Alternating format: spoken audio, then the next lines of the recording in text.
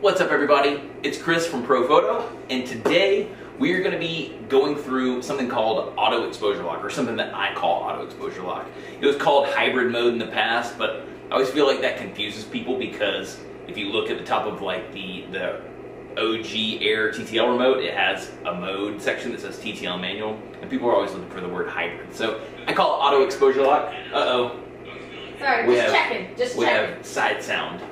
that so, was my fault. Sorry. Um, so we're doing auto exposure lock as our first one back for 2021 because one, some people may have gotten some new Profoto stuff over the holidays or towards the end of the year. Maybe you invested in yourself and you got some Profoto. And this is a really, really easy way of getting up and running with your Profoto stuff if it's Air TTL enabled. And I'm going to show you how to do it. So this one is going to be for in studio, full control of your lights. We're not going to be doing, and, and I'll talk briefly about how to mix it with ambient light, but we're gonna we'll do another auto exposure lock where we actually go outside and I show you full on how to do that between the ambient light and your flash itself. Uh, but we're gonna do it with one and two flashes just so you can see what's going on there. And yeah, answer any of your questions that you may have about this. Once again, this is just a really, really fun way that I use all the time to get up and running with my lights. So, and also in a twist of this, just to talk about how simple this is to kind of get up and running, Caitlin's going to actually photograph me. So, uh, yeah, it's pretty easy stuff.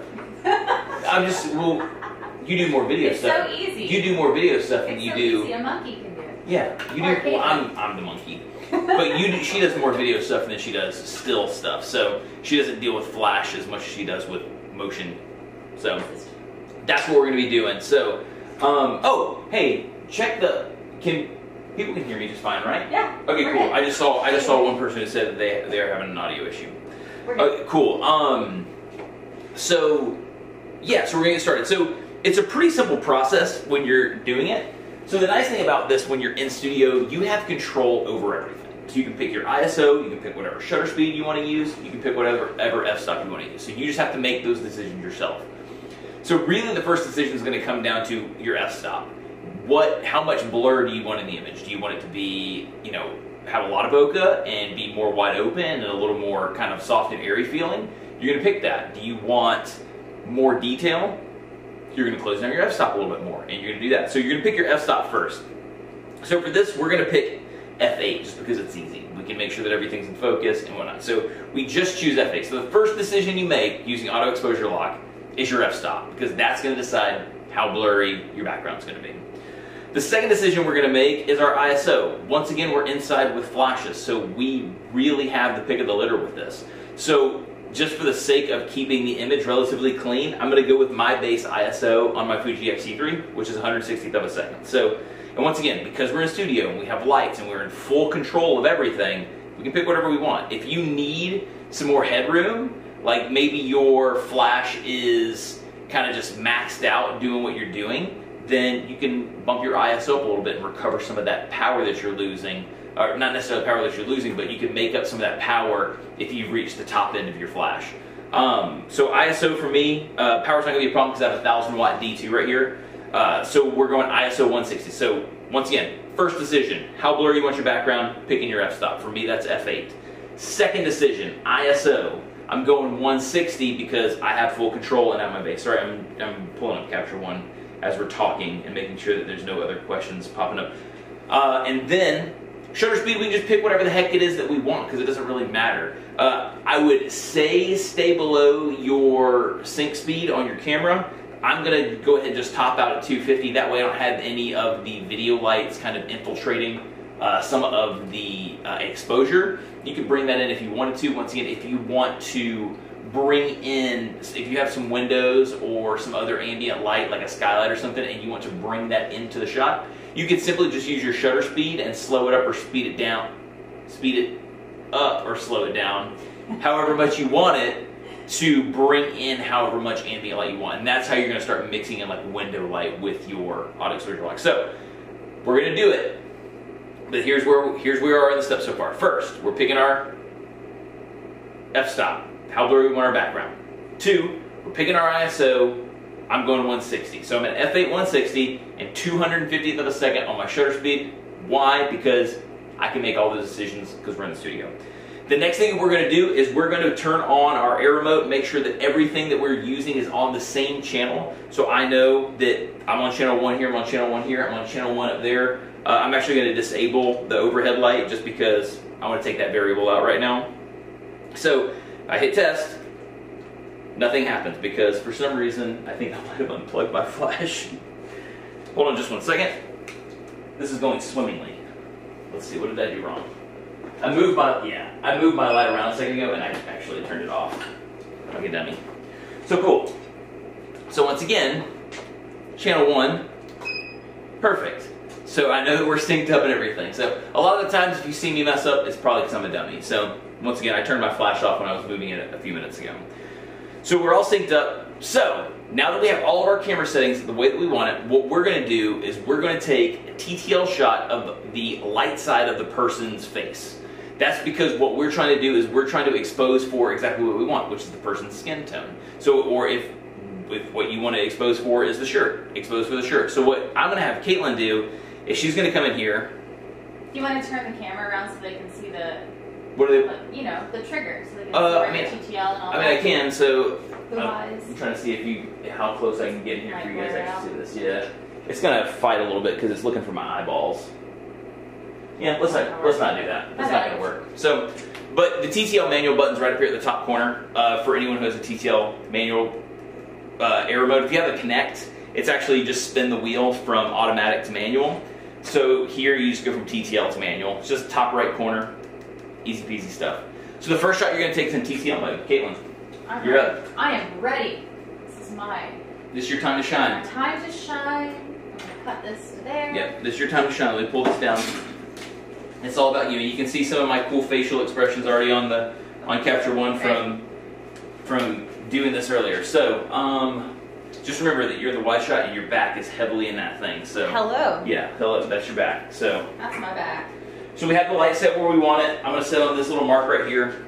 Okay. And so, TTL. so the first thing that we, we do is we're going, she's in TTL mode, we're going to zoom in really, really tight on the subject's face. Once again, we're eliminating any variables that could cause the TTL to overexpose. And also, we flip the camera vertical because my face is vertical. So uh, it might be easier to come over to this way? side. Yeah, because, and once again, we're photographing the light side. If she tries to photograph the shadow side, where the light is, this is going to become overexposed because the light is actually trying to expose for this and not this side. So Here we are. TTL shot of my face, up close. Perfect. And so you'll see, popping up in capture one, that I'm one, That's me done. gorgeous. Look at Yeah. that face. Oh, so, Oh, yeah. but we have a proper exposure right here on this, the light side of the face. Cool? So what we did, we set our camera, we set our camera settings the way that we wanted. Then we put the air mode into TTL mode, and she zoomed in really tight and took a picture of my face. So that was in TTL mode. The next thing that we're gonna do, actually, we're on wide shoot. No, I'm, Do you want me to flip oh no, this? no, no, it doesn't matter. I was talking to the camera like my computer screen wasn't up. Yeah. So the next thing that we're gonna do is we're gonna flip that air remote into manual mode, and from there, the power settings locked into place. And it's going to be the exact same exposure no matter where she moves. So as long as myself and the camera, or myself and the light don't move in relationship to each other, you flip into manual, I'm manual. manual up, and then she can recompose her shot however she'd like to. And you'll see right here, Let's see. You see right here? Perfect exposure, as soon as it pops up, just like that, based off the camera settings. So if we wanted to shake it up and just show you how fast this is, you, you can, are you You need gonna? a tight shot, you? No, no, you don't have to, we're gonna take a photo again, you're gonna come right back out oh, here. Right, right. So if we want to shake this up a little bit, and you'll be able to see this right here on my camera, where we're gonna change the camera settings. Say we wanna move, hey, Caitlin. you're up. I know. Oh my gosh, I have to shoot the camera now. Yeah, so what we're going to do really fast, just so you can see, we're going to change the f-stop to 2.8. You saw that change. We're going to change the shutter speed to, to 125th of a second. And we're going to go to ISO 200. So just so you can see how fast you can make these settings, here, Caitlin, do the thing. Do the thing where you take a picture of my face. I'm doing that. This is me getting him back from doing this. Yeah, so all this is the time. Yeah, whenever we've done auto exposure lock stuff in the past, I always photograph her face really, really closely. I feel terrible about it because she hates it. So I was like, you know what, you can photograph me today. So Here we are. So first shot in TTL. Perfect. And so from there, we're going to flip into manual mode. And we should have perfect exposure. Easy peasy. Yeah. Super simple stuff. I mean, I look like an axe Yeah, murderer. you look a little bit Yeah, I look like an axe murderer, but um, but it's that simple of a process. So, We may have lost the link for the B10 competition. oh, is So we might uh, for Facebook. So so we might have to add that in later. Gotcha. Um, Cool. Um, so yeah, so there's a there's a Facebook competition that we have going on to where you can win a B10. Um, I'll uh, I'll put that into the comment section before we uh, end this thing. That way you can see it, and I'll pin that comment up to the top. So once again, the process is as follows. And I'm going to come over here and check out your questions as well. So the process is as follows. So we're going to set our camera settings the way we want. F-stop first, ISO second, shutter speed third. Cool. Pick those. Then take a TTL shot of the subject up really close. Does not have to be in focus. Really, really close. What you're doing is eliminating anything that's in the background. Anything that could, so like I have a white shirt on, but kind of a darker camo hat. So this could conflict with this, and it may piss off the TTL. So what we're doing is we're eliminating as much of that stuff as possible and saying, hey, this is the bulk of what I want you, I say bulk as I put hands around my gigantic melon head. So, but this is the bulk of what I want you to expose for. So expose for this. So we picked our camera settings, we put in TTL mode, we took one exposure in TTL mode uptight, and then you lock it into manual mode. And then you're done. You're in the middle of your session. You don't have to do anything else. You don't have to change any settings unless you just want to make a fine tune adjustment. Uh, honestly, we didn't make any fine tune adjustments when we did that just then for you. So you saw me change the camera settings. So it's not like I had it set from earlier when we were taking our, our card shot. So you saw me change those settings on the fly in Capture One, and then Caitlin took that that TTL shot, and then we locked it down in manual mode. It is that fast. It might be one of those things that when you're just starting out doing it, you, you might fumble through it for a second, but honestly, I use that technique for the majority of the stuff that I do now. It just gets me in and out quick. That's not to say that a light meter is not going to be a lot more accurate, especially once you start bringing in, um, you know, a lot, a lot of lights, and you're trying to like, you know, get each one of them set individually. 100% use a light meter. Or if you're just way more comfortable in using a light meter, use a light meter. But there's a, a, a huge swath of photographers who don't have one, who don't necessarily desire one. And the cool thing is, is we're really just utilizing the light meter that's inside your camera. So let me see if you guys have any questions. I'm gonna move my laptop over here. I'm also going to, while I'm chitty chatting for three seconds, I'm going to put that uh, contest link into the the contest section. So pull up my restream chat. Let's see. What's up, everybody? Hey, hey, hey. Um, Kate, what's up? Sounds good. hey. Um, oh yeah, sorry. Uh, other thing, my lavalier mic. Uh, right before it was like the last live of the year. yeah. Like my lavalier mic just crapped out, and I it's it's off getting repaired. Um, so we're just it's just shotgun. So there's probably more room noise than you're used to. Usually I have you know my mic right here. So I apologize. We're using the shotgun. This is what we what we're working with right now. So Carlin Flagstaff, what's up, dude? Let's see what's happening over on Facebook really quick because I know that there's stuff over there. Uh, what's up, party people? Um, sweet. Oh, sorry, I'm just trying to get here to these comments. It gets a little gets a little funky. Um, what's up? Um, okay, gotcha. So someone said, "What's that link for the thing?" Cool. Am I missing any comments? Like it's uh, it looks like it's doing stuff in real time. Caitlin will look and, and tell me if anything. Yeah, I, I, yeah, we're good. Okay, right on. So let's see. Let me get you guys this link really, really fast. Um, but yeah, it's a really, really simple process um, that you know I use all the time. And so what we're gonna do here in a second is I'm gonna have Caitlin come in here, and we're gonna actually bring in um, one more um, light, just so you can see what it's what I do with two lights. So let's get right here. Grab this link. Oh, that's that sound that I don't want to happen. So here we go. Um, here's the link for the B10. Everybody, check the comment section. It's still making sound. Stop doing that. There we go. Mute. Perfect. Okay, cool. So we're back. We're back from outer space. So let's add in a second light just so you can see how we do that. Uh, it's really, really simple stuff. So what's going to happen is the TTL is going to try to make everything even. So that's fine. It, but it may not be what it is that we're trying to accomplish when we're using multiple lights. So what we can do on the air remote, which I'll explain, is set the ratio between the main light that, or between one light and the other light. So it doesn't necessarily know which one's the main and which one's the fill. It just knows that, hey, the one on this channel, I want you to be more or less than the, or I'm sorry, not channel. The one on this group, I want you to be more or less than a light on another group. So that's how we're going to operate with that. So what we'll do is we will turn on an overhead lamp. So my front light is a D2 with a big five foot octabox. Pretty sweet. My overhead is a B10 with a one by three strip box. Pretty awesome. That's just gonna be like a hair light, just something to give a little more separation. Look really nice. So what we're gonna do is on group B, I'm gonna hit head on the air remote and turn that on. So now I see them both flashing.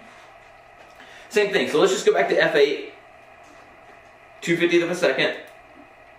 And once again, you can see all those settings changing in Capture One as we're doing this. So you know for a fact that I am making those adjustments. So they're all locked into place. We're good to go. So with everything flat, you ready to take this photo, Caitlin? Yeah. So with everything flat, it will, um, the main light and the overhead light should be relatively even as far as exposure goes. Um, and then what we'll do is I'll show you that you can ratio one of the lights down from the other one. So there you go. You remember how everything works? Hmm, let's see. First shot in, TTL. sweet. Go ahead and get real close. You should. Make you feel really comfortable. I'm always comfortable.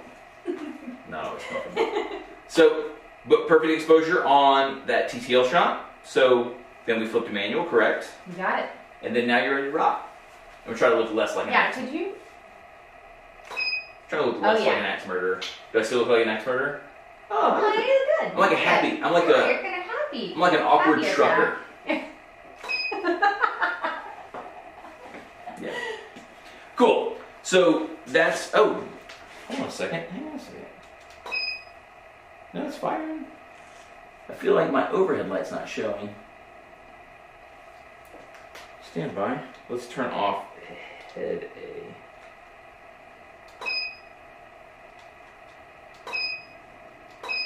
Oh no, hang on a second. Let me double check something, party peeps. I think I made a colossal error on what my lights are set at. Gotcha, I got that set to B. So let's let's flip this. So they're they're competing right now because I have them set to something in particular. Cool thing about the B10 is I can just go right here to my Profoto app and fix it. So I'm a dummy. Let's see. Profoto app, connect that B10. There we go. No control. Turn it on. Oh, it's not. There we go. It's on now. We've got.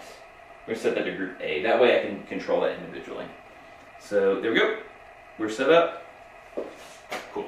Now Would you like me to do that again? let's do that one more time. All right, let's do it. TTL. Things have gone haywire today. Oh my.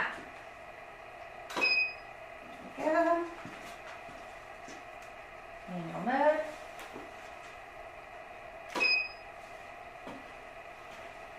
There we go. There it is. So now you can see the light's relatively even as far as overhead goes versus um, my main light. Um, granted, my overhead light is a little bit closer to me in proximity, so it does probably have a touch more overexposure. I mean, it's not overexposed, but a touch more exposure than the main does, but it still looks really nice. But if I wanted to control that, I could simply flip over to group A, which I know is my um, overhead light and I could just in TTL mode turn that down. Oh, sorry, I'm such a dummy.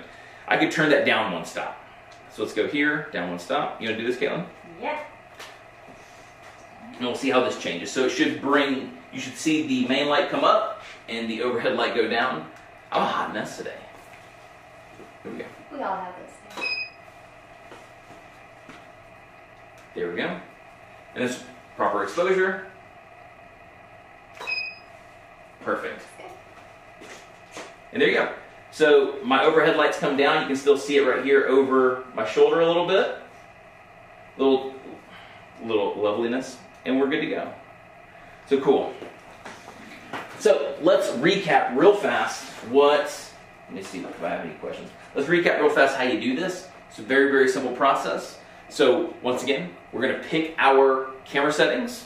We're going to choose f-stop. I, this is the, the, the way that I do it.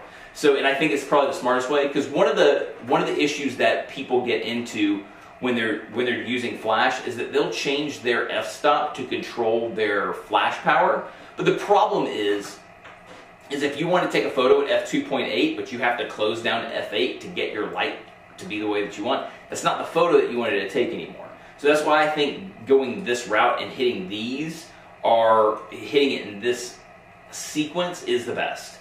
So your f-stop you choose first because then you get to decide how blurry, once again, you want that background. So if you want 2.8, you shoot 2.8. If you want f16, you shoot f16. That's, that's your first pick and that's what you lock in. That could change if there's some variables where maybe you're letting in too much light, which once again, you can fix that with high-speed sync. Um, so pick your f-stop and, and try to live there. Then you're gonna go pick your ISO. So because we're inside, I can go to my base ISO. I've got plenty of power in my flash. We're rocking and rolling. Shutter speed, once again, we're inside. I don't have to worry about the sun coming in or the sun flooding my scene and causing me trouble. If you're in a place that has much larger windows or you have gigantic skylights, that might be something you have to deal with and you can use your shutter speed to, to bring more of that in or to cancel some of that out and then with you have high speed sync which is made to bring ambient light down. So if you need to just flip into high speed sync because of extra light, just go into high speed sync. Um, just note that high speed sync is not a really, really fast recycling mode. So you're going to want to make sure that you're not trying to like pulse heavy flash, like uh, heavy frame rates. So we've got our settings, f-stop, ISO, shutter speed in that order. We're going to take a skin tone shot in TTL mode, really, really close. Look at my face right here. How excited are you? How close you are to my face right there. Doesn't have to be in focus, but it's going to get that exposure right every single time. So try to get rid of as much stuff as possible. Take that TTL shot, one photo, and then you flip it into manual mode, and you have a proper exposure.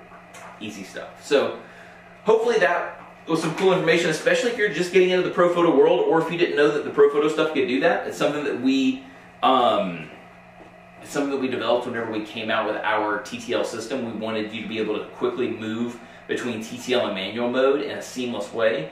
And I think it really, really works. Like I said, I use it all the time uh, to, with, with great success. Let's see if you have any other questions before I sign off for the day. Um, let's see, let's see, let's see. What's up, everybody? Mexico, what's up? Hey, hey, hey. Hey, hey, hey. What's up, party peeps? Cool. So, um, let me make sure I don't have anything on Facebook. I'm having to go between the two because for some reason, eh, some people saw me start this thing up a couple of times. For some reason, Facebook didn't want to recognize our switching system. So it's just fighting us a little bit. So um, yeah, let's see. What's up, everybody? Hey, hey, hey. Oh, that method of exposure locking works great when I shoot vehicles. I build my shot around like that. Thank you, explain. Oh, appreciate that, Will. You know I love it. So hopefully this was really, really cool. Some, some awesome information. I know we've talked about this before in the past, but I thought this would be a great way of kicking off the beginning of 2021. So hopefully you guys have an awesome week. Uh, on Tuesday, we will start a new round of uh, our bi-weekly Q&A on Instagram. So if you have any questions that are Profoto specific or you just want to talk about something, hit me up. We'll be there. Um, we have a free academy course in the in the description above or below. I'm not sure where it's at anymore with Facebook, but it's in the description. So you can go grab a free Facebook Academy course, and we also have a B10 giveaway contest on Pinterest. So go try to win yourself a B10. All you, I think all you're doing is making a mood board, and you're tagging it into our our board or something like that. I'm not sure how it works, but you can make a mood board and win a freaking flash. How awesome is that? So in the meantime that you oh, make sure choose your f-stop. So simply take a shot. Okay, here we go. Choose your f-stop. So simply take a shot in the face, switch to manual, and boom, set. That's it. That's all you have to do, Stephanie. That's it. Or Stefan? Stefan. I need my glasses. Um, when you hold on a second. Uh, when you zoom in, take TTL. Does it have to be in spot metering? I'm pretty sure I have mine in evaluative. Let me see. Oh, did I turn? I turned my camera off. Let me see what I have mine. In. I'm pretty sure that mine is in like evaluative. I know um, when I was using Nikon, I was always in matrix mode. Let me see what I am in here. Pardon me while I check this. Let's see. Honestly, I never changed this on my camera, so I. I'm really haven't really. Oh, here we go. Yeah, I'm in all. I'm in all.